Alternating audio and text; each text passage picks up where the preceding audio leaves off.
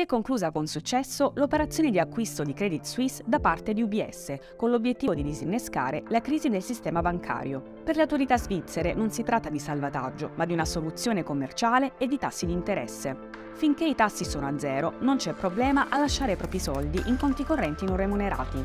Le banche ringraziano e usano quei prestiti a breve forniti dai depositanti per offrire finanziamenti a lungo termine a tassi più elevati e guadagnare sulla differenza. Per l'operazione di acquisto, UBS metterà in campo risorse per oltre 3 miliardi di franchi svizzeri, acquistando il capitale di Credit Suisse per circa 0,76 franchi svizzeri ad azione.